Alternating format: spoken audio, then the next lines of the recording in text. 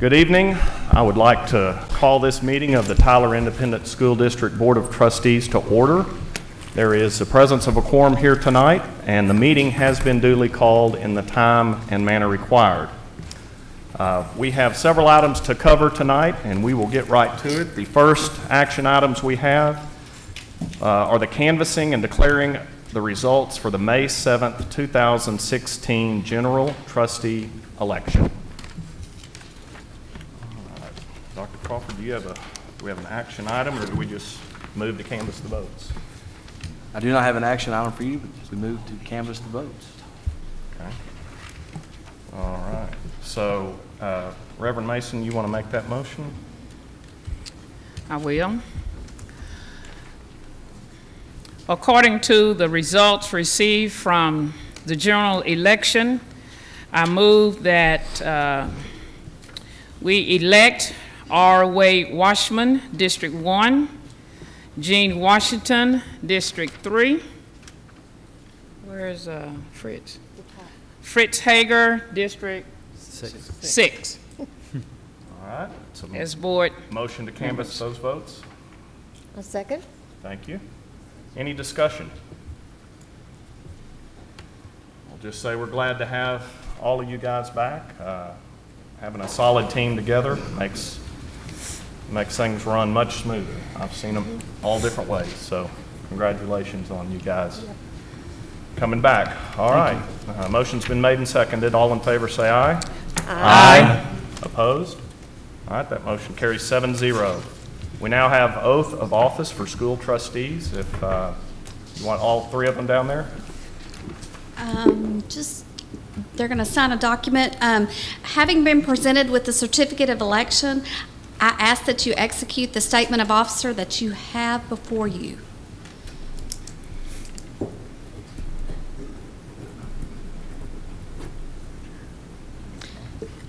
Having executed that statement, if you will come down front and raise your right hand.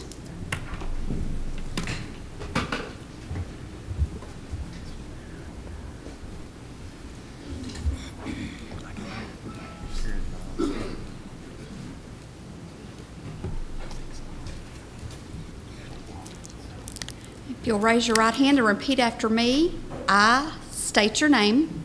I, Do solemnly swear.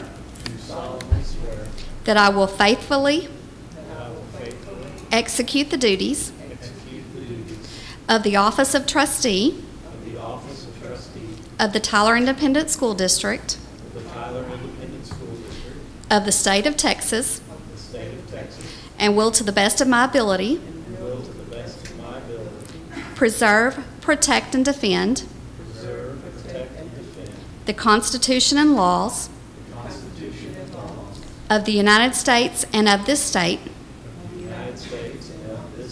So help me God. Okay, and when you return to your seats, the oath is at your place. If you will execute that, please. And again, congratulations, and thank you for your commitment and service to the district.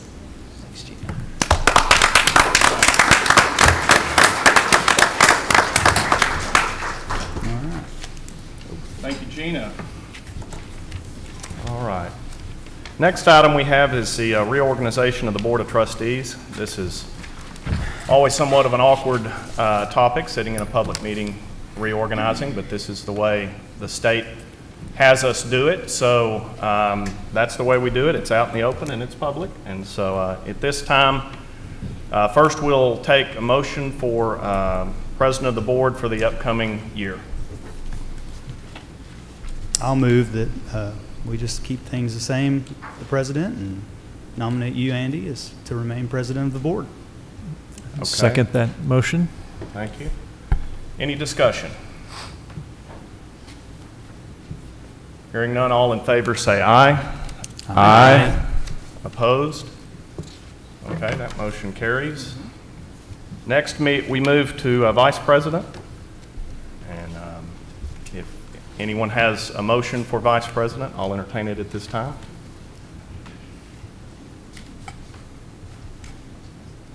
I'll make a motion, Mr. Chairman.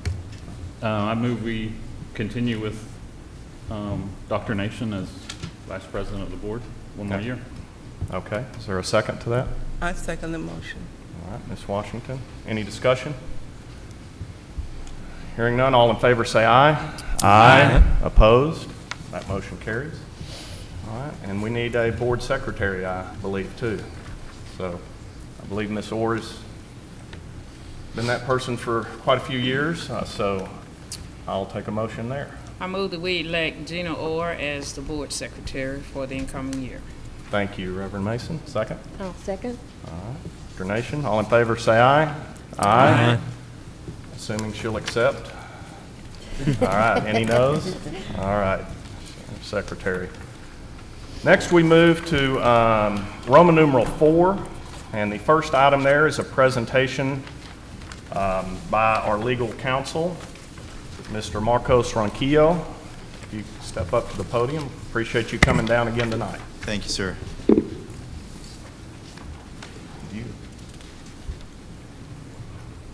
Uh, Mr. Chairman, uh, members of the board, um, and uh, Mr. Superintendent, uh, what we have uh, tonight is basically a uh, presentation regarding um, our review, our analysis, and investigation of the uh, current desegregation case involving the Tyler Independent School District. Um, What I want to do is, is basically give the board um, a, an overview of our analysis, and more importantly, where we come down on that analysis.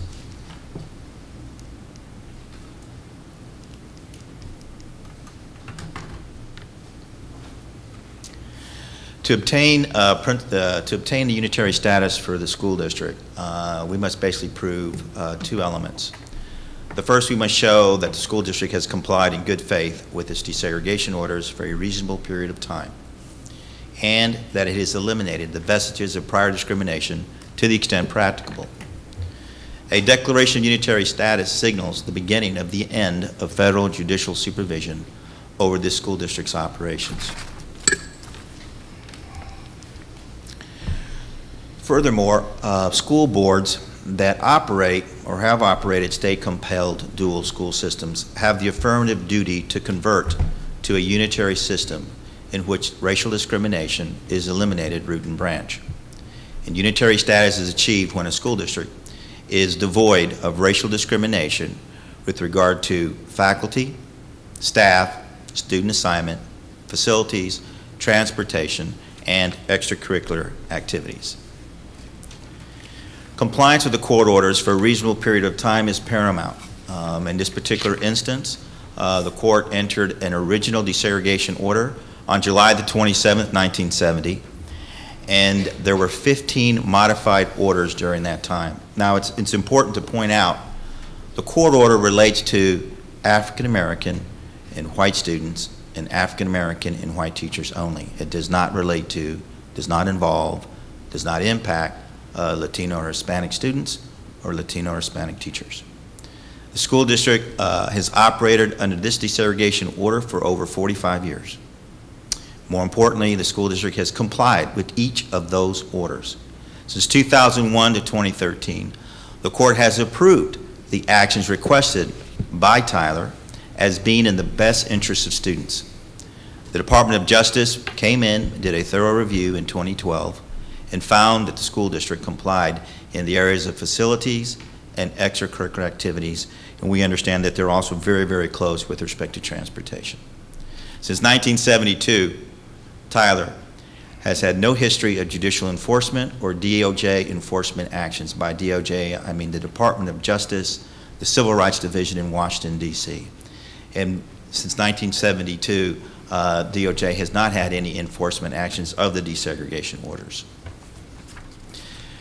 I want to talk a little about the green factors. The green factors is basically a reference back to the Green case. And early on in our desegregation history, uh, the Supreme Court identified certain facets, certain elements of a desegregation case, and more importantly, what are those elements that a school district must show, uh, must demonstrate they have, they have, that they have achieved unitary status. The first is faculty, the second is staff, the third is student assignments, facilities, transportation, and extracurricular activities. With respect to faculty and staff assignments, the racial composition of faculty and staff within a school district, schools, must be substantially the same as the racial composition of faculty and staff throughout the district.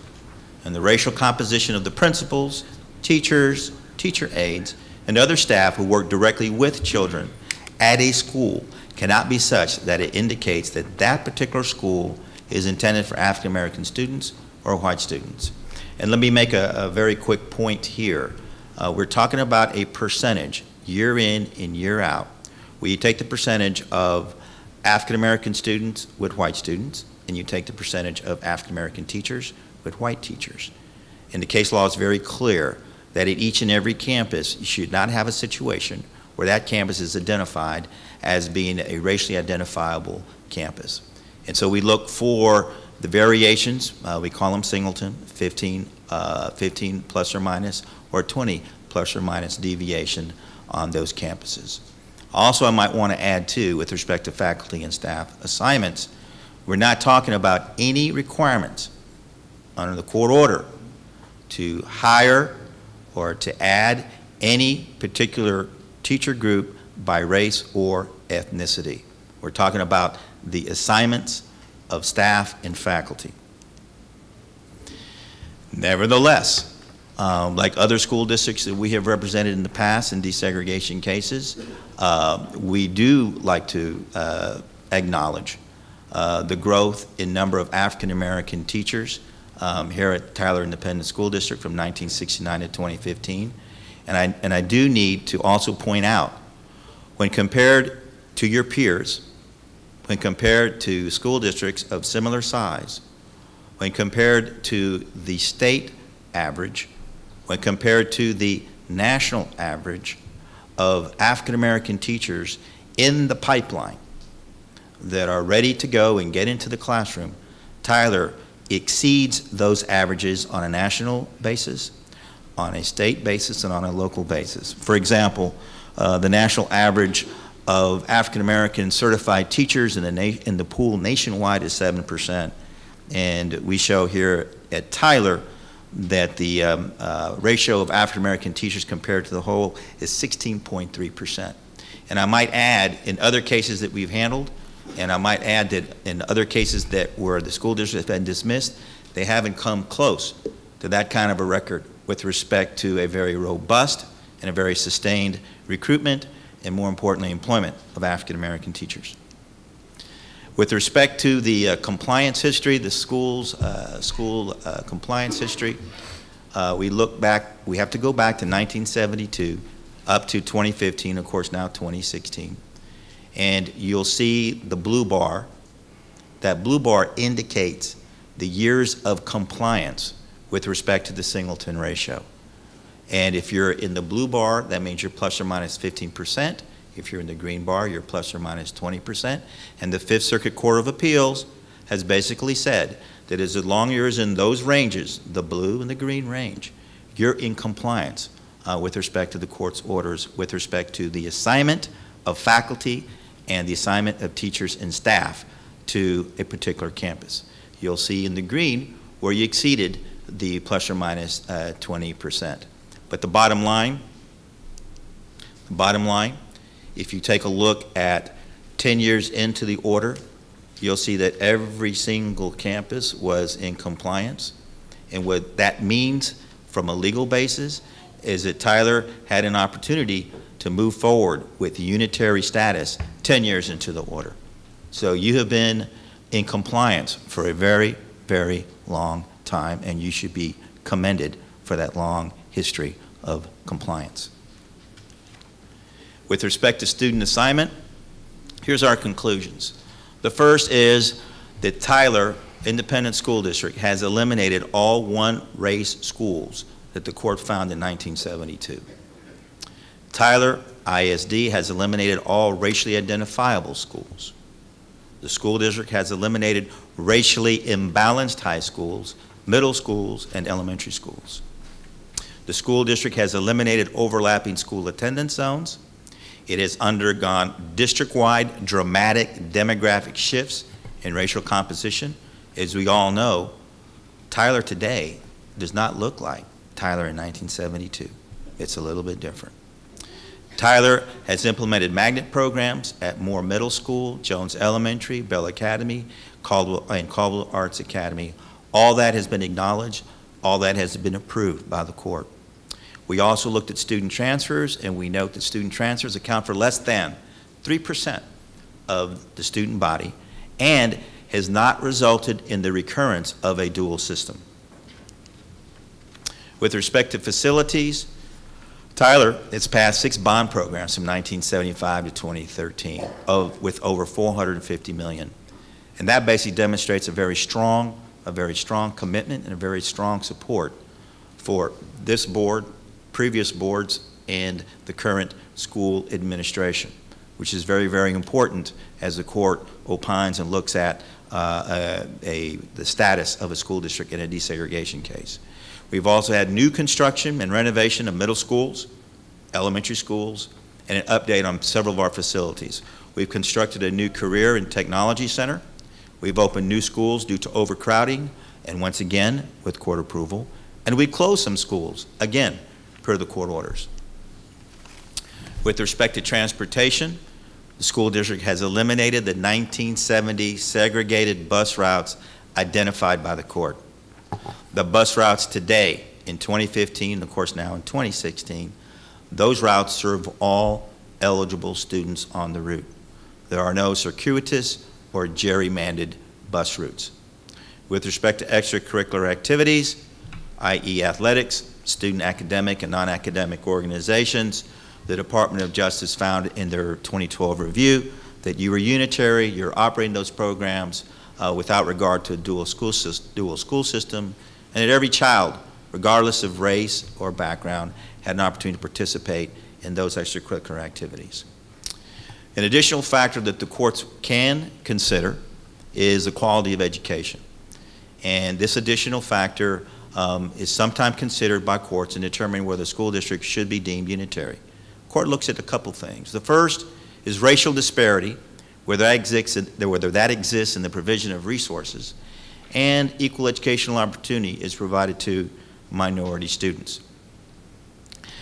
As a side note, before I leave that slide, I, I think it's important to note, uh, basically for the record, um, as we reviewed the documents, which we'll talk about in a second, um, our biggest dilemma, our biggest challenge, is providing to the court all the positive indicators uh, that Tyler, all the positive steps, all the positive programs that prior boards, prior administrations, this current board, this current administration has done to promote equal educational opportunity for all students in the Tyler Independent School District. And more importantly, um, looking at uh, the student achievement gap, looking at TEA uh, records, looking at federal uh, records that demonstrate that uh, Tyler not only compares favorably to its peers, but excels when compared to its peers. With respect to the documents reviewed as part of our legal analysis, uh, we had to go back and we had to look at the old original Health and Education Welfare Report, which started out in 1969. Um, we looked at those reports, those original reports that led to the desegregation case. We looked at the 1970 complaint. We looked at the subsequent pleadings, motions, docket entries, zoning maps, and court orders. We also had to analyze the compliance reports that this school district has dutifully and faithfully submitted twice a year since 1972 to 2015. We've also analyzed TEA regulatory materials, school report cards, uh, looking at the highly qualified teacher surveys. We've analyzed TISD materials. We've gone back and looked at board minutes, 1972 to 2015. We've looked at campus improvement reports, the superintendent's annual reports. We've also analyzed the consultant reports. Tyler has a very great track record uh, whenever there's a challenge, whenever there's an issue, of going out and getting consultants and uh, looking for the best that can come in and provide the board with best practices, programs, policies, and procedures uh, that drive the development of equal educational opportunity to our students. We also reviewed and analyzed the discovery and other materials related to the Department of Justice 2012 investigation. We also reviewed the Department of Justice letter of findings. I might want to add again for the record that the Department of Justice found Tyler to be already unitary with respect to extracurricular activities and facilities, which basically means that um, it's a no-brainer on two of those green factors to go ahead and file the appropriate motion seeking relief from court supervision. And also, as a side note, um, as I understand in 2012, you're also very close to the transportation issue as well. Um, And then we also interviewed key TISD administrators. Finally, in conclusion, um, and I don't speak for myself, I, I speak for my, uh, for a legal team, uh, Jose Gonzalez and uh, Judge Nelson. Um, as you know, we've handled other DSEG cases in the state. We have come to conclude that this school district has satisfied its burden and is eligible for unitary status should the school board decide to adopt that option because it's demonstrated good faith compliance with its desegregation orders for a reasonable period of time, over 40 years, and has removed the vestiges of prior discrimination, and they have been extinguished to the extent practicable. I want to thank you for giving us the opportunity to be of service to the school district. Thank you, sir. Thank you, Mark. Thank you. Marcos, and just be available if we have any legal questions going forward.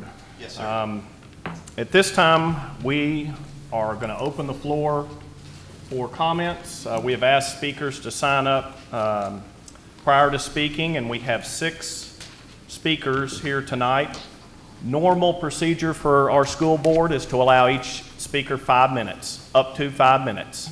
Uh, We just ask that, that uh, you try to, um, try to acknowledge that. I will hint to you if you've blown past the five minutes. We don't want to cut anybody off, but we just ask that we keep that in mind. Um, The only other thing, sometimes if everybody's saying the same thing over and over, maybe you can consolidate what you were going to say with what somebody else has said, and we can move it along. But I think we're fine. We've got six speakers. Our first one, Mr. Cedric Granberry, and uh, Cedric knows the way to the podium here. Appreciate you coming tonight.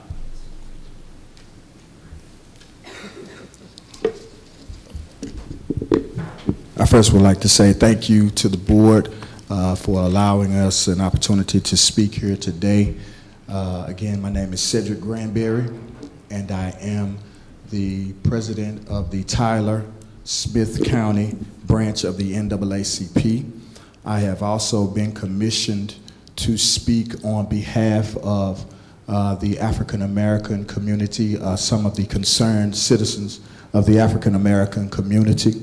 Uh, and I am also a proud parent of a student that is in Tyler ISD, and he's serving as my security tonight just in case I have any problems. My son Cedric Jr. here uh, attends Jones Elementary, and he is in the Gifted and Talented program, and I want to commend him for his hard work uh, and also uh, the support system that we provide.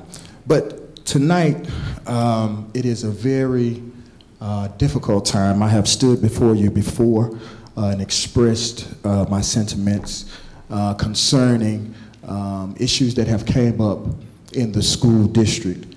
Um, but on this time, we are particularly talking about something that is very dear and close to our hearts um, that has impacted the school district, which is the DSEG order of 1970.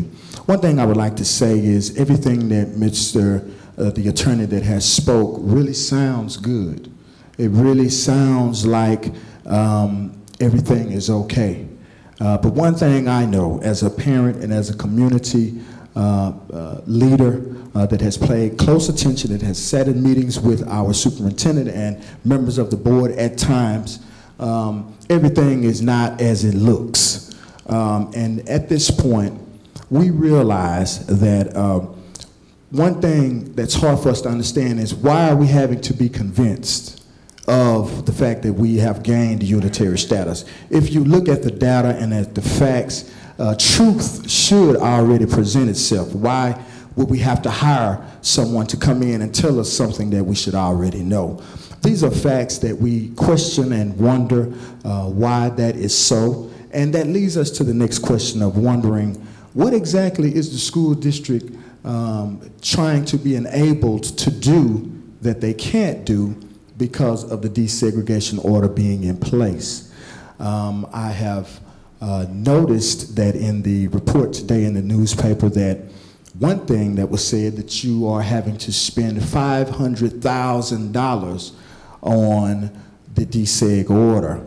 I would like for that to really be detailed and explained how. Uh, I know it was in regards to busing uh, that was uh, reported in the report. And it's, it's funny, a, a, a, parent called me today and asked me, I'm trying to get understanding about the DSEG order. I'm trying to understand what exactly are the ramifications of it. Uh, and she asked, she said, my children go to Three Lakes and we live in a certain section of town uh, and it's pretty far away from where we stay. Uh, and she said, "W- if the, the DSEG order is dropped, will my children be able to go to that school? Um, and they ride the bus also. I said, you know what? That's a good question. That is why it's important for us to pay attention to uh, the legalities of the DSEG order and to understand exactly what the initiative and what the school board is trying to do. And so those are the questions that we have to ask you today is what exactly um, will you be able to accomplish that you can't accomplish now? Because it seems like uh, under this administration or the current president, it's very much important that the DSEG order is dropped. I don't know if it causes for the school district to look bad because we're still under a court order, but let's digress for a minute and understand why the court order is in place in the first place. In 1954, we know uh, here in America that the climate uh, throughout our American schools was a dual system of education. Um, blacks went to school on one side of town, and whites went to school on another side of town. And many times, children that lived in an area close to a school that they should have been allowed to go to couldn't go to school and had to go to a school that might have been across town uh, for those purposes. The thing about it is, uh, when the Brown versus the Board of Education uh, argument, uh, court um, proceedings took place, it was argued that uh, dual systems of education, uh, segregation was unconstitutional. And as a result, the Supreme Court uh, ruled at that time that this was so. It was unconstitutional to have a dual system of ed- education. Such a pinnacle time in our American plight. But what's funny about that, Tyler ISD was a school system that would not comply. They absolutely would not do what they should have done and done right by the children of this city. And that's a fact. 16 years later, it took for um, the um, uh, federal judge of this area, uh, Mr. William Wayne Justice, Judge William Wayne Justice, who I must admire as a person being a white man to understand the forecast and what could possibly happen and what was going to happen. And as a result, had to place a federal uh, DSEG order uh, for school districts that would not comply. And that since 1970, 46 years later, we are still under. And yeah, it's a shame. It really is a shame. And we should have complied uh, or had unitary status, as the attorney pointed out, 10, 10 years into the order. Well, why haven't we been able to achieve that status? Uh, one thing about um, the ramifications, the data will explain for itself. Now, I would like to say in our position, and I have an official copy of our position as the NAACP that I would ask would become part of the record uh, to state our position and become part of the official proceedings of the board. Uh, the Tyler, Texas branch is in opposition of the DSEG order um, being explored to, explored right now as unitary status, being explored as having, uh, allowing the district for unitary status, which would uh, indicate that we could be relieved of the court order. Uh, and that is an official copy of that to be presented to the board. Um, one thing about it, also, um, we would like to say that uh, several issues come to mind uh, that we have to deal with as it pertains to faculty, staff, and students. Um, of course, we know that uh, the demographics of the city have changed somewhat and quite a bit Uh, and the, the attorney has stated that this didn't pertain to Hispanics. Uh, so it did pertain to blacks and whites. And one thing about it is, the reason, one reason why I have my son here with me is he attends Jones Elementary. And there are not very many white children that attend Jones. And a lot of the schools on the north side of town actually don't have any uh, white students that attend. Uh, so primarily they are filled with minorities. Uh, also, uh, as it pertains to faculty and staff, uh, there are 1,200 teachers in this district. It really is strange that there are only uh, less than 20% that are African American and uh, less than 100 that are uh, Hispanic.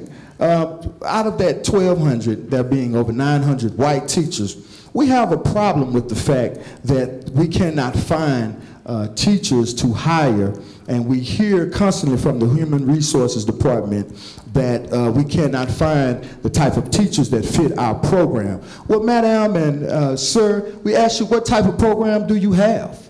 We're wondering why that qualified teachers that would come out of uh, college and be able to pass the examination cannot uh, be part of this system. And it presents a problem that presents a climate in this city and in our school district that has our parents and teachers frustrated because many times teachers are afraid to uh, exhibit what they're going through because of the, the, the, the, the demand that they're under from day to day.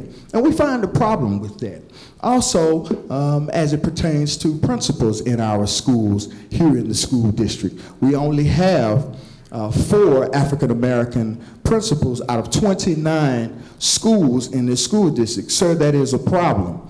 Um, also, um, I have, we have gotten notified that there also is a policy in place that if a student uh, transfers to uh, an high school opposite of the middle school that they are going to, that they can face two years of ineligibility uh, in, in regards to sports. And I would like for, to make sure that that's clarified because if that has changed, I want to know.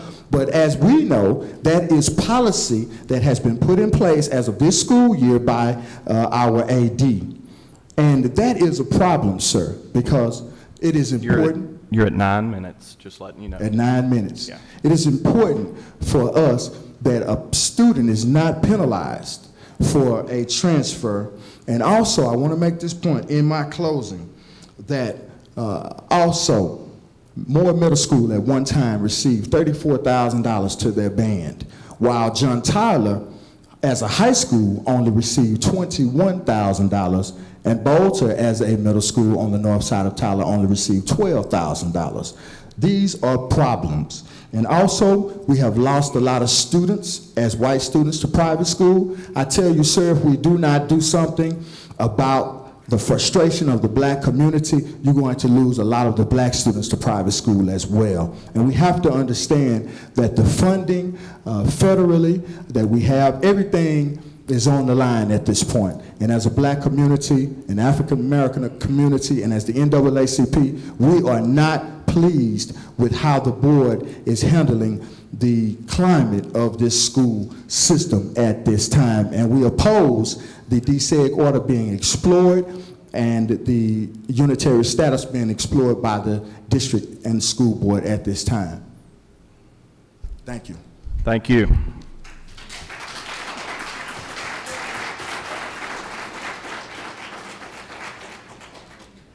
Our next speaker is Mrs. Kristen Baldwin.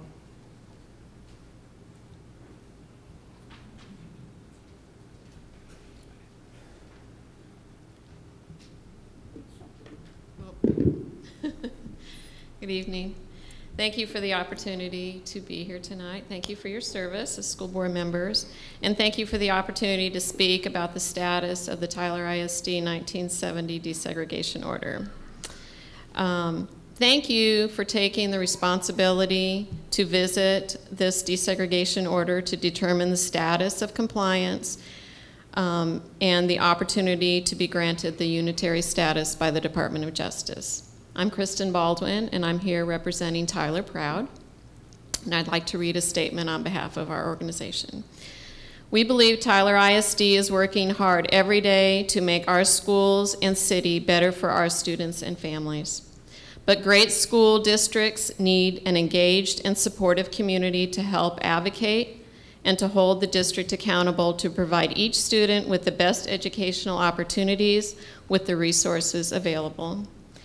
It's time for the 1970 desegregation order to be lifted. Tyler Proud supporters are assured that Tyler ISD does not operate in a discriminatory manner and offers all programs and educational opportunities to students without regard to race. The reasons for the desegregation order were resolved many years ago, and there is evidence to verify that all across the district. We believe the school district will be able to operate more effectively and more efficiently without being under the control of this federal order. We want Tyler ISD to have the flexibility to serve the needs of each student, to allow for more neighborhood schools, to use resources as needed according to performance data, and to allow for more local control. This is better for our community and it's better for our students. We believe that this is an important step to move, to move in closer to having great schools in Tyler, Texas. We're hopeful that Tyler ISD will join the many other school districts in our nation that have been granted unitary status and are no longer under a federal desegregation order. Tyler Proud is an all inclusive, community wide, positive organization that exists to bring people together to improve, support, and hold accountable Tyler ISD. Tyler Proud is made up of more than 3,000 parents, grandparents, students, educators, business owners, and community leaders who believe great schools make a great community. Thank you. Thank you, Ms. Baldwin.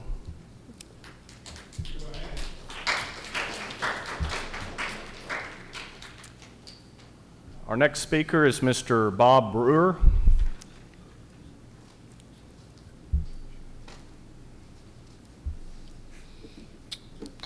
I guess you got my text. uh, I hate to be a broken record. I've been up here multiple times. I'm addressing the segregation, desegregation in Tyler. And as far as uh, good gestures to show that we're not being intentionally segregated, using emergency funds. It was once reported emergency funds to build that swimming pool one and a half miles into South Tyler when we have a perfectly good pool one half mile north in North Tyler at Fun Forest that was rebuilt 20 years ago to world-class standards. I just think it's it was the wrong thing to do and it's a bad gesture for whoever decides if we if the desegregation should be or if the order should be lifted. Um, Councilman Moore has already told me that uh, Woldert Pool will probably be closed due to lack of use. When this new pool gets built in South Tyler, that residents won't have access to as they do at a public pool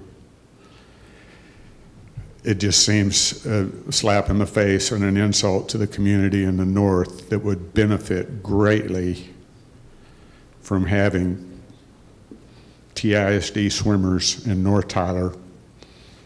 Most of those guys are super high academic achievers, just like all the triathletes and marathon runners that I know. And it would just be the greatest gesture to our segregated community that we're trying to come together. And I'm sorry I repeat myself so much. I know this is over, over the, it's water under the bridge, but it just seems an insult. And I'm sorry.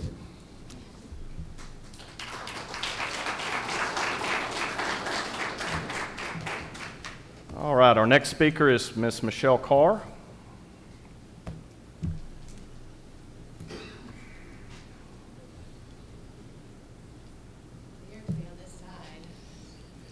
Really weird. Good evening. Thank you, legal counsel, for your report. And um, I just want to say I commend the board. I know that we wrestled the whole time that I was on the school board um, with the implications of the DSEG order and the, the cost that it drives and the um, burden on our staff.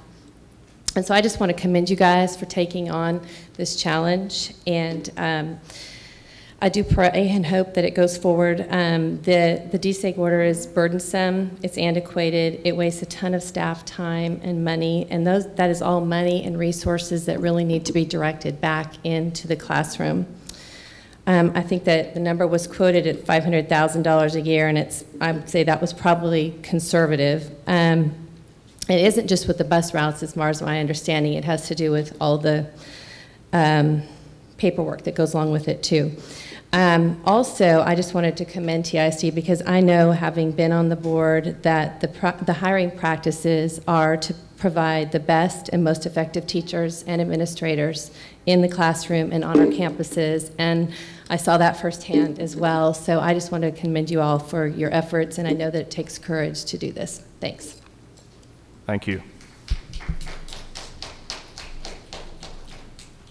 Next speaker is Mrs. Laura Griffith. Laura? You're okay? Okay. All right. Next, we move to Miss Natalie Booker. Okay. All right.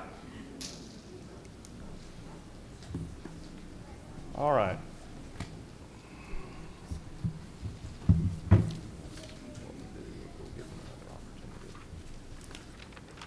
Okay, at this time, that is all the speakers we have tonight. And just to give you an idea going forward, we have another meeting Thursday night. Um, There'll be a public partic- participation section of that meeting, just like there is at every regular meeting. All of us um, are available by email, uh, most of us by phone. Most of y'all know how to get hold of us if you need us. Feel free to call any one of us if you want to talk about it. I'm happy to sit down with anyone and hear if you feel more comfortable talking offline than on. Um, I'm open to that as well. Um, so, as a board, we appreciate you coming out tonight. We appreciate the input you've given, and we will continue the process. Um, that's all we have on our agenda for now, I believe. So, if um, Any executive session? no, Okay. I don't think so.